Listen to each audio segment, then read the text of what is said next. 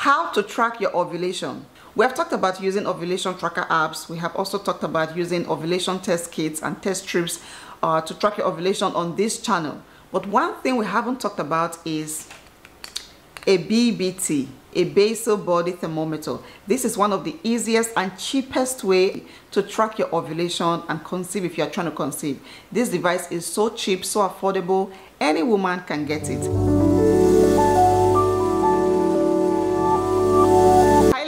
Welcome back to my channel and welcome to today's video. If you're new to my channel you're very welcome. My name is Nosa. Thank you for joining us today. So in this video I am going to be unloading a lot of TMIs this is one of the things that helped me when I was trying to conceive and I have talked about this so many times. So finally today the video the video is here and I hope you guys learn a lot. I hope you I hope you find this video helpful. A BBT is a special kind of thermometer it is able to measure your temperature to the 100th degrees.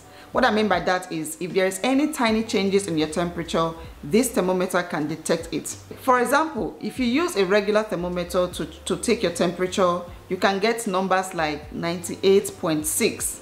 But when you use a BBT, you can get numbers like 98.63. And when we talk about your basal body temperature, we're simply referring to your lowest temperature. Basal, lowest and this thermometer is designed to measure those tiny little changes. So that is why you need a BBT okay before I make this too complicated if you are not able to find this special BBT then you can use your regular thermometer. Get a regular thermometer and you can use it to achieve everything we'll be talking about in this video. Okay so now there are two main fertility signals to track your ovulation if your ovulation is approaching, there are two things you want to pay attention to. The first one is your cervical fluid, your cervical mucus. So during ovulation or when ovulation is approaching, you will notice that your cervical mucus goes through different stages from sticky to creamy to stretchy and then it goes to watery and then it disappears. And when you see all of that happens, then you know ovulation has occurred in your body. The other signal, the other main fertility signal is your temperature. Yes, your temperature can tell you if you are ovulating, if ovulation is approaching, or if you have passed ovulation. Okay, you guys, this is very important and I need you to pay attention. So the main job of a basal body thermometer is to confirm that ovulation has happened. So before ovulation happens, your temperature will be kind of low, okay, from your period. During your period, your temperature will be low. And then right before ovulation happens, your temperature will go down. It will go even lower and then after ovulation happens your temperature goes up. I'm going to show you guys all the pictures because i took my temperature for like 15 days and i'm going to show you all of it in this video. Okay here we go. Good morning guys. So today i'm going to start taking a record of my basal body temperature. I'm going to be using the Premom app. And like i have mentioned if you don't have the Premom or any ovulation tracker apps you can simply just get yourself a book get a book get a pen and get yourself of course a a basal body thermometer. And anything you see here the numbers you see here is what you are going to be recording in your book. So i'm going to hit on this plus button and it's going to lead me to where i can log in all my data that's it right there. Bbt that's my basal body temperature. So i'm going to put the correct time I usually wake up at 5:30 a.m. every day. So I'm going to put the correct time when I woke up today. That was at 5:30 a.m. And I took my temperature and this morning my temperature was 97.72. 97.72 you guys this thing is just beginning to malfunction because of the battery. I need to change the battery. So this morning my temperature was 97.72 i wrote it down somewhere. So i wrote it down in a book. I wrote my temperature down this morning. That was it right there. 97.72 degrees fahrenheit. That was that was the number i saw here when i woke up. Now this thermometer uh, is able to save the temperature. It usually does that. It will save the temperature to the end of that day until you take another one. But because the battery is low it is just malfunctioning. So i'm going to change the battery. So this was my temperature this morning when i woke up. Uh, i'm going to be recording my temperature throughout this period. Uh, so like i said if you don't have those ovulation tracker apps you can just use a book. So uh, yeah and another thing i'm going to say is your first temperature for the day is usually the most accurate. So you don't have to do this multiple times. You don't have to take your temperature like three times in the morning when you wake up. the first one is usually the most accurate. That's from my experience. And once you take your temperature you can get up. You don't have to lie down there anymore. You can get up and go about your day. You can also you know use your phone to take a picture of the of your temperature and you know just save it in your phone. Then whenever you have the time you can go write it down in the book or put it in the app i'm going to show you guys all of this in the course of this video. So this is day one. Today is monday. I woke up at 5 30 and my temperature was 97.72 so i'm going to log this into the Premom app. The number was 97.72 i'm just going to hit done. And that is it. My basal body temperature this morning when i woke up. So um yeah we're going to continue doing this tomorrow and continue until my ovulation day so that'll be it for today. I will see you guys tomorrow. Good morning, guys. So today is the next day, and this morning my temperature was reading 97 97.78 9778 so i'm just gonna log it in here bbt bbt so i took my temperature at the same time this morning 5:30 a.m. this morning. And my temperature was 9778 9778 so that's my temperature for day 2 all right I'll see you guys tomorrow. Patience, okay? Now there, there, there are strict rules to use a BBT. If you want to get the most accurate results, you have to stick to the rules of using a basal body thermometer. The first one is the time of the day that you wake up. You have to wake up at the same time every day or every morning. If, you if your waking up time is 5 o'clock, you have to wake up at 5 o'clock every day. You can wake up like 5 minutes late, 5 minutes earlier, but it has to be around that time, not 1 hour early or 1 hour late, okay? So you want to wake up at the same time every day. Number two, when you wake up in the morning, you can't get up from the bed. You can't get up or sit up you can't roll, you can't turn around. You have to be in the same position. If you were lying down on this side, you have to be on that side. If you're lying on your tummy, you have to be on your tummy. You can't turn or roll over.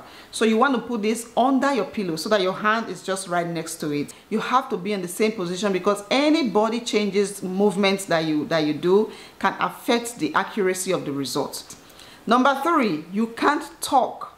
You can't say hi to your partner you can if he's talking to you you have to be mute. You have to be quiet. So at least let him know before then that i'm going to be doing something so i can't talk in the morning okay? Now number four this is probably the most important. You have to be lying down for at least three hours. You have to be lying down sleeping for at least three hours. So if you usually get up at night to maybe go pee or maybe you have a baby a toddler or maybe you have any reason to get up just time it make sure if you are going to wake up at 6 o'clock the last time you should get up from that bed should be at 3 a.m once it is past 3 a.m you you can't get up anymore because it is going to affect the results now for me there were some times when i woke up like one hour before before my normal wake up time i had to stay there I had to stay there. This is not something you're going to do every day. It is just only during your fertile window when ovulation is approaching. So you, if, if you wake up like way earlier, just stay there until it is time to do you know to do the test to test your temperature.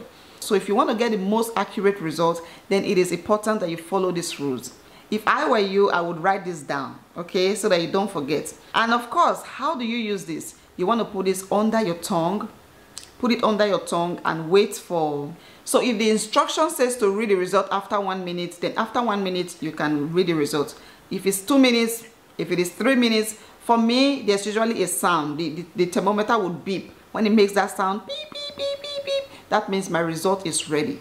So these are some things that, that, that, you that you really want to pay attention to because if you miss them, if you think they are not important, then you are going to you are going to keep having inaccurate results and you wouldn't know when you ovulated.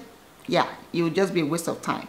All right. Okay, now I'm going to show you guys some live images of my basal body temperature. I took my temperature for a couple of days and started from my period until my ovulation even after my ovulation so use the Premom app to keep the record of my charting but if you don't have the Premom app if you're not able to download the app then simply get yourself a book a book and a pen and you're going to use this to write down your temperature from when you start to when you stop. So every day I took my temperature, I logged it into the app. I also came here to write it. Let me bring this close. You guys can see that. So day one, Monday, my temperature was 97.72. 97.72 degrees Fahrenheit. The next day was Tuesday. My temp, oh, on Tuesday, I didn't take my temperature. I don't know what happened. I can't remember what happened, but there's nothing here. So Tuesday, nothing. But that was still, you know, during my period, so it didn't matter that much. Now, Wednesday, I woke up again at 5.30 a.m. My temperature was 97.72, the same thing as Monday, 97.72. Thursday, woke up at 5.30 temperature 97.78 97.78 friday which is day five. Now something happened on friday. I woke up 30 minutes earlier. I woke up at 5 5 a.m instead of 5:30 a.m and i needed to come down. I needed to go to the bathroom. I couldn't stay there anymore so i just took my temperature 30 minutes earlier. Now look at the results the result is 97.94 97.94 you can see the result has changed you know just because of that that change in time. So that is why you want to stick within the time that you usually wake up. Five minutes early or five minutes late is fine but but 30 minutes from when you usually wake up would definitely affect the accuracy of the result. The next day saturday i woke up at 5:30 and the result is my temperature was 97.93 97.93 this is accurate because i woke up at the right time. The next day was sunday. I woke up at 5:30 and my and my temperature was 97.84 97.84 degrees fahrenheit. The next day was monday 5:30 a.m temperature 97.79 97.79 next day was tuesday. Woke up at 5:30 temperature was 97.59 97.59 the next day was Wednesday. My temperature was 97.52, even lower, 97.52. The next day was Thursday and my temperature was 97.59, 97.59. Friday, 5.30 a.m., my temperature was 97.72, 97.72 degrees Fahrenheit all the days leading up to Friday has been 97.5 97.5 but on Friday for the first time I am getting a little rise I'm getting my first rise in temperature this is interesting but let's keep going Saturday woke up at 5:30 a.m. my temperature 97.87 97.87 definitely going up Sunday I woke up at the same time 5:30 a.m. and my temperature was 98.56. We are no longer in the 97s. 98.56 degrees Fahrenheit. This is definitely higher than what I've been having. The next day was Monday. I just wanted to do one last one. So I woke up at the same time and my temperature was 98.62. 98.62 degrees Fahrenheit. That was definitely the highest uh, temperature record that I had gotten. And at this point, you guys can see that progesterone was definitely rising. My temperature was rising. Ovulation was happening. And yeah so this is the line of progression for a woman who is ovulating. This is what you will see if you are if you are taking your temperature. But there are some very interesting things that i want to point out to you. Now according to experts and science ovulation happens when you experience the dip in your temperature when your temperature goes down so for every normal human being, if you are not sick, if you are not pregnant, if you are not drinking, taking alcohol, because these are some things that can affect your temperature. So if you are fine, your temperature should be around 98. It's 98 degrees Fahrenheit. If you are if you are using Celsius, it should be around you know 37 or 38 uh, degrees Celsius. Anything higher or lower could mean that you are sick, your temperature is just not right. Okay, before your period starts, you will notice a little drop in your temperature. So as you guys can see from my images, once my period started, my temperature dropped to around like 97.72, 97.82, 97 point, it was just in, you know, 97s, 97s. So if you are using Celsius, you're probably going to be seeing like 36 or 37, okay? And right before I ovulated, like from Tuesday, from Tuesday, before I ovulated, my temperature dropped even lower. According to science and experts, the point at which your temperature dropped, that day your temperature dropped, or the last day you had that low temperature before it starts rising, that is the point of your ovulation. The point where your temperature dropped and you know connecting it to when your temperature starts going up that is the point of your ovulation and that day for me would be thursday so between thursday and friday is when i ovulated because thursday the last that was the last day i had a low i had a dip my temperature on thursday was 97.59 by friday morning Friday 5:30 a.m. my temperature was already climbing up. It was 97.72. So I am going to take Thursday or between Thursday and Friday as my ovulation. It could have been Thursday. It could have also been between Thursday and Friday, maybe a few hours in Friday. I hope I'm not getting you guys confused, okay? What I'm trying to say is science does not know exactly when a woman ovulates. That's exactly when your ovaries release an egg. No expert has been able to figure that out. But a lot of predictions can be made based on the symptoms that you're experiencing in your body, including your temperature. So according to my basal body temperature, Thursday would be the day that I ovulated. I know that once your egg is released, that egg is viable for 24 hours. So if my egg was released on Thursday, that means the whole of th Thursday I could get pregnant. If my egg was released on Thursday night, that means between Thursday and Friday, I had, you know, some some some egg in my body, some matured egg in my body waiting to be fertilized. So what you want to do is to maximize your chances. At that point when your temperature drops and the first time you get a rise, that is the point you should plan to do the deed and get pregnant if you are trying to conceive. And for those of you who are using a notebook, because I have everything here in my notebook, I wrote some things down. So Thursday was the last day I had a drop in my temperature and I wrote it down as my ovulation day. And then Friday, this is going to sound interesting. Friday was the day that the Premom app considered as my ovulation day. The Premom app considered Friday as my ovulation day.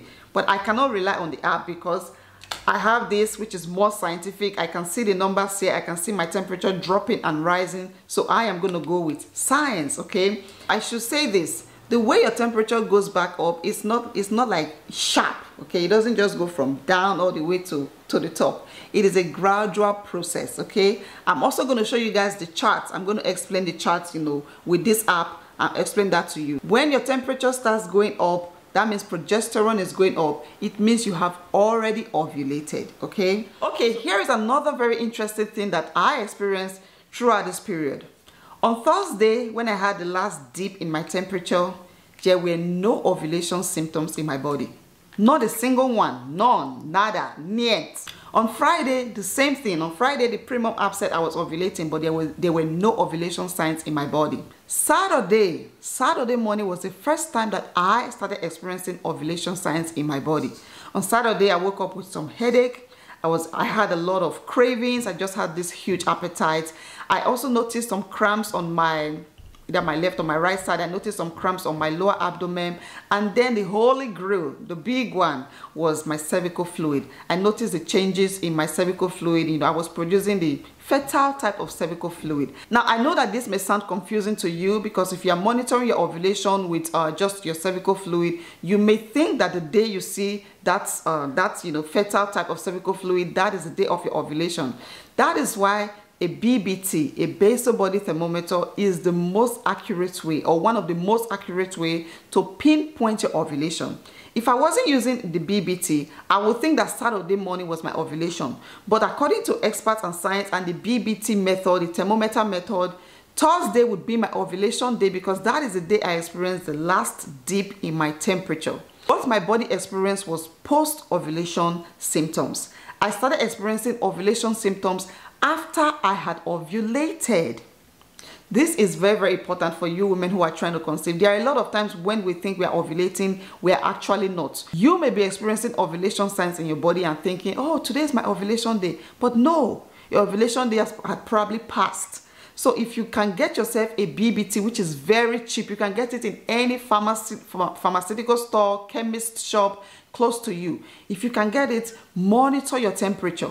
The day you see that dip or the last day you see the dip in your temperature, that is the day, according to experts and science, that you are ovulating. So these are some live images of my of my temperature for like 15 days. And like I said, if you don't have the Premom app or any ovulation tracker apps, you can use a book. Now, if you can download any other ovulation tracker apps, that would work as well. they have places provided where you can put your basal body uh, temperature for the day. So you can use any ovulation tracker apps that has that feature okay?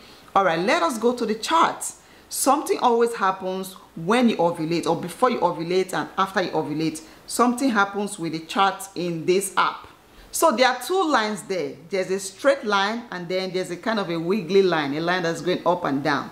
Now that straight line is uh, is the measurement for a for a normal temperature. A normal temperature should be within 98 degrees Fahrenheit okay? So during my period as you guys can see the wiggly line the line that's going up and down is below the normal range of a temperature that line is below and that is because I am on my period okay? Then towards the end of my period my temperature starts going up. That means the line starts going up. It goes up and then it starts coming back down again. It starts coming back down again. That means my ovulation is approaching. My fertile days are approaching. And then guess what happens? It starts climbing back up again. And at this point I could say that I have ovulated. At this point my egg has been released progesterone has taken over and my temperature starts climbing up again. So it goes to 97.7 and then the next day it goes to 97 98 points whatever. Now another thing I, I should say which is also very important to confirm that ovulation has happened you need at least three sustained uh, high levels of, of, of your temperature. You need to see three high levels of your temperature to confirm that ovulation has happened as you guys can see i have three sustained uh, temperature rise three sustained temperature rise. There are three, like three uh, tiny cycles up there. Now, you need to have that for you to confirm that ovulation has happened. So if your temperature goes down and then goes up just one time, you cannot use that to confirm ovulation. You need at least three sustained temperature rise. You need to see those three tiny cycles up there if you are using this app for you to know that ovulation has happened. So if you don't see that, then continue. Continue doing the ritual. Continue waking up every day. So like i mentioned before the two main fertility signals you want to pay attention to are your cervical mucus and your temperature. Once you see this once you see the changes in your cervical mucus and a, dip and a rise in your temperature then you can confirm that ovulation has happened. So on my book here, for those of you who are using a notebook, I put an asterisk on the day that my temperature started climbing. I had three consecutive 97.5s, 97.59, 97.52, 97.59, and then on Friday I had 97.72. So during these times, during these 24 or 32 or 48 hours, you want to make the most of your fertility. You want to optimize your fertility, your chances of conceiving.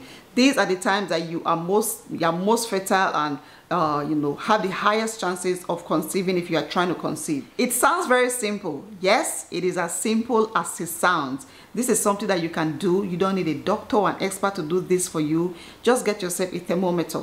If you can't get this special, uh, you know, basal body one, then get yourself a regular thermometer, a book, and a pen, and start charting. That is all you need to do. Take your temperature, monitor your cervical fluid, and with that, you can confirm ovulation. And let me say this, sometimes when I you know make some videos here, some people expect to do it that one time and get pregnant.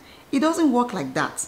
If you find an information that is interesting, that can boost your chances of conceiving, it doesn't mean that that first try, it will happen for you. I mean, our bodies are different. So don't think that the first time I do it, I'm going to get pregnant. And if you don't get pregnant in that cycle, you start thinking, maybe I'm not doing it right. Maybe my body is this. Maybe something, you know, you know, you don't need that continue to do this different cycle do it in january you may get pregnant by june that is okay that is okay. You are giving yourself time to learn about your body to monitor your body your fertility and that is fine. So don't expect to get pregnant immediately. I mean if it happens for you that first time oh my god the, the world will be happy for you. I will be very happy for you.